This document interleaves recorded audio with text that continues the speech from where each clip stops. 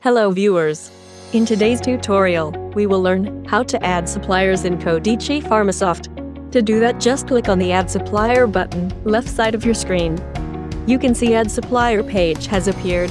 You have to put all the necessary details of your supplier here. As you can see a supplier code has already generated.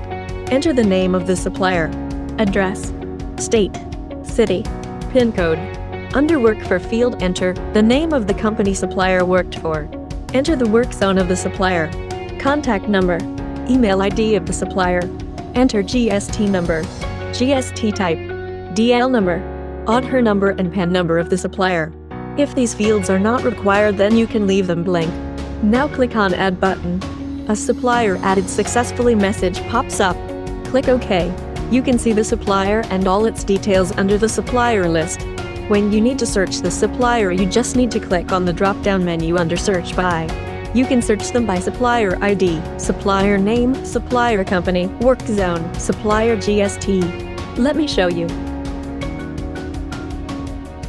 When you need to show all just click on the show all button. When you need to update or delete, just right click on the supplier field and select update or delete.